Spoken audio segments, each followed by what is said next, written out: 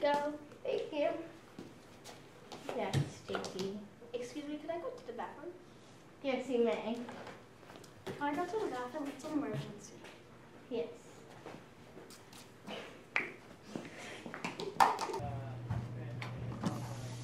Hey kid, you have fluffy feet.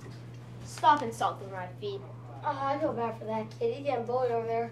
Well, not my problem. Well, I can do whatever I want whenever I want. No, you can't. Yes, I can. I'll show you. Oh, oh no! JT got punched. I need to go tell Mrs. Warford.